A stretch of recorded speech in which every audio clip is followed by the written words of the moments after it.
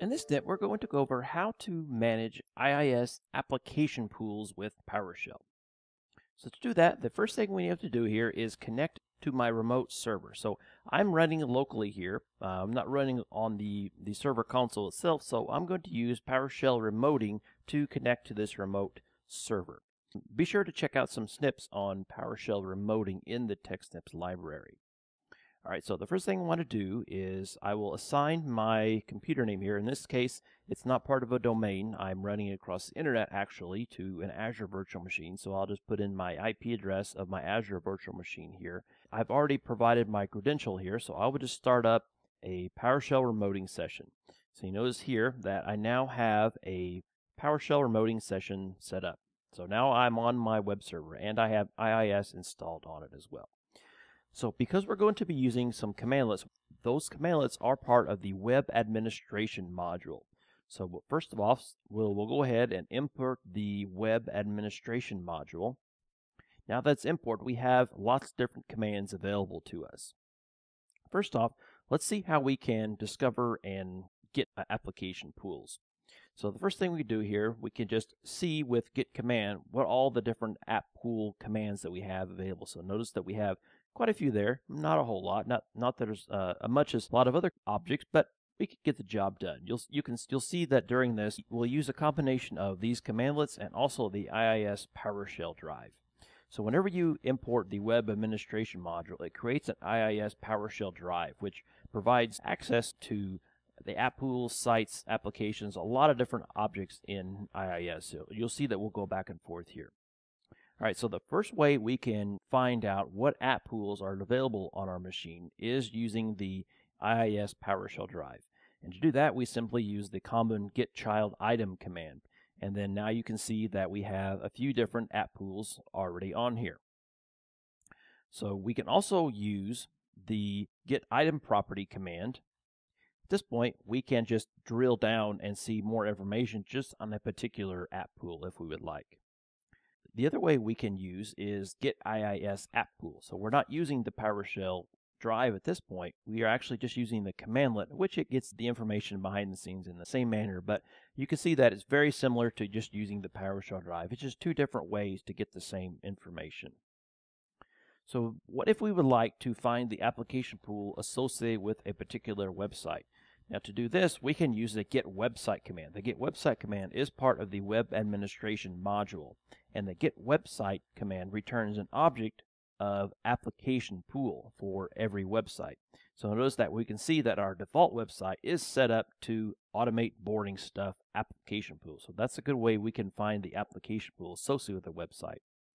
Next up, we can drill down a little bit farther and find attributes. So there's a lot of different attributes associated with app pools we can use that by just using get item, then specifying the IIS drive path to the particular app pool that we want, and then reference the process model property here. So there's a lot of different ones in here, and these all can be changed and modified however you need. But you can also drill down attributes is another interesting one here that we can use that is a very common one that, that I use um, in my day job to change various things in IIS, but you can drill down on any of those properties um, as you wish. Next up is creating IIS app pools. So let's clear this screen here and we'll use the commandlet and the IIS drive before. I would like to create an app pool called automate Boring stuff. We can use this by using the new app pool commandlet. And you can see that is very simple, just creates it. So let's go ahead now. We want to create the same one again. And actually, let's just do, let's just call it automate the boring stuff too, just so we can show another one. And we can use the IIS drive using the common new item command. Exact same thing, just two different ways to do it, so no big deal there. Next up, we can set attributes. We can change the attributes in various, in all kinds of different ways. To do this, to get down to the attribute level, you'll typically want to use the IIS drive because it's a lot more flexible. To do that, we use the set item property command. We specify the path to the app pool. In this case, it's default app pool. And then we specify the property name, whether it's for process model here. And then we have the value of whatever you're going to do. In this case, I'm setting the username and password and identity type values here. So I will look and run this. Doesn't do much. And then we will check and see if that applied. And we can scroll down here and we can see that username is user underscore name and password is password and identity type is three. So uh, using the set item property is another good way to just change various attributes in IIS. Okay, next up is restarting app pools. This is very simple. Simply restart web app pool. That's all there is to restarting web app pools with the web administration module's uh, restart web app pool command. Next up is removing IIS app pools. Again, extremely easy. You just run remove web app pool. Since I created that one, I will go ahead and just remove this other one that we created here. Looks like it doesn't do that because I fat fingered it. There we go. All right. So there we go. That's all there is to removing app pools. So we can remove app pools. So, but you know how to manage app pools now. How do we bring this all together? This next up is a custom function that I had built a while back, and I wanted to show you an example of how all this that we're talking about can come together. So I created this function called new IIS app pool that's essentially a wrapper around all this function that we had created.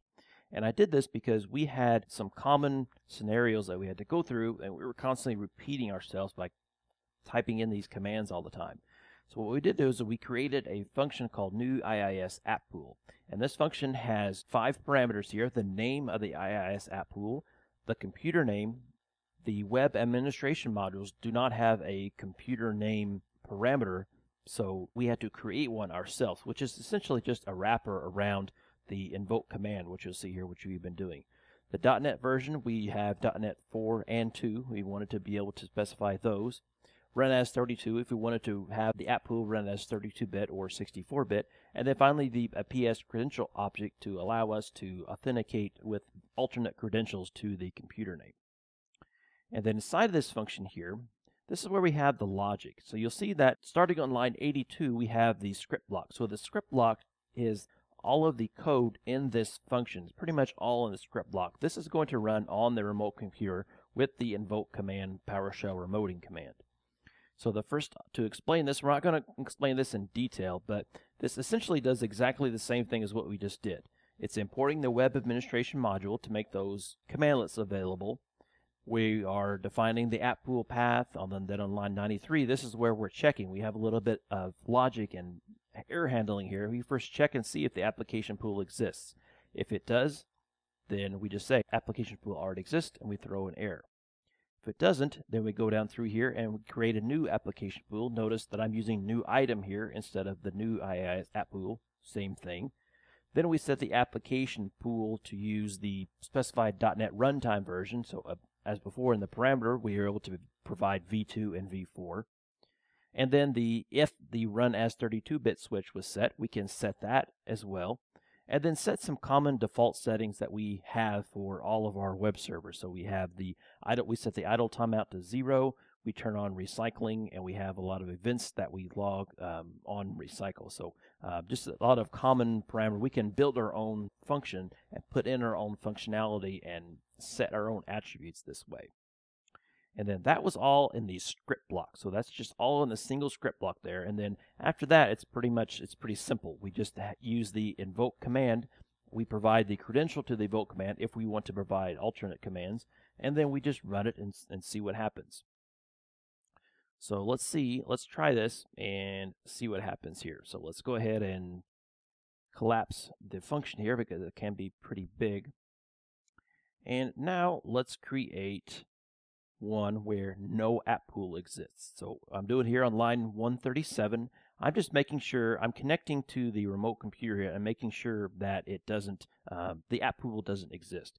However, since I'm already in my PowerShell remoting session interactively here, I don't have to do that. Instead, I can just simply run remove web app pool and see if it actually removes it. So it does not exist, so it's not there. So that's good. So I can just run my new IIS app pool here after I bring it into my session and make it available. All right, so now we will run this. And then now you can see that it goes through some verbose messages and then it finally tells us the application pool automate boring stuff was created successfully. So at this point, it was created. It went through all of that code that we provided, and we were able to call just new IIS app pool instead of going through all of that code that we created earlier. And then finally demonstrate, we can run this again when the app pool exists and notice that the IIS application pool automate boring stuff already exists. So that is our custom error handling. So that has been how to manage IIS application pools with PowerShell.